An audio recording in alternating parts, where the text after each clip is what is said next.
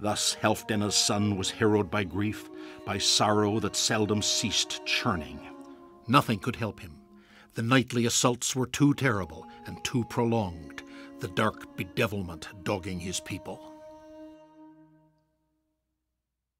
But at long last, in the land of the Geats, Hygelac Thane heard about Grendel. In that day of this life, no earthly man had equal strength or equal courage. He asked for a swift sea-going ship, said he intended to visit Hrothgar over the vast waters, now that the war king was in need of help. Much as they loved him, men did not try to dissuade the prince from his set purpose, but urged him on. The omens were propitious. He chose from among his choicest followers a keen company of comrades, the bravest he could find in the land. With fourteen others, a seasoned sailor, he sought out his ship, leading the way to Land's End. With little delay, they launched the vessel beneath the solemn bluffs.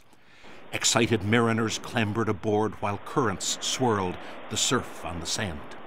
Seamen of the Geats, laughing with pleasure, loaded the hold with burnished swords and bright armor, then shoved the nail clinched ship out to sea.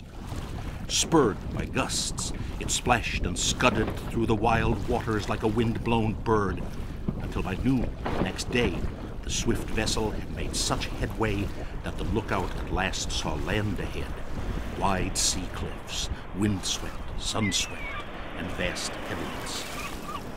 The voyage was over. The sea had been crossed, and sailors leapt into the welcome surf and waded ashore. They moored the vessel, their mail coats rustling, and gave grateful thanks to God Almighty that their sea crossing had been safe and easy. From rocks up above them, Hrothgar's sentinel, whose task was to guard and patrol the sea cliffs, saw strangers who bore stout battle gear and sturdy war shields striding down the gangplank. He needed to know who these newcomers were.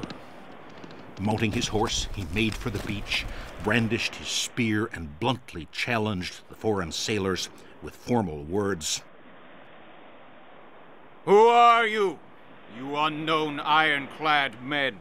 Alien troops armed in mail coats, bringing your boat from abroad, crossing the sounding sea. I have served for years as Coast Guard here, carefully watching to defend these shores against foes meaning to wreak havoc in the realm of the Danes. Never before have unknown sailors landed on our coast with less concealment, even though you came without asking leave of noble Hrothgar. Never before have I seen a man of such eminence as your leader in his lordly mail. A hero, I think. No hall sloucher.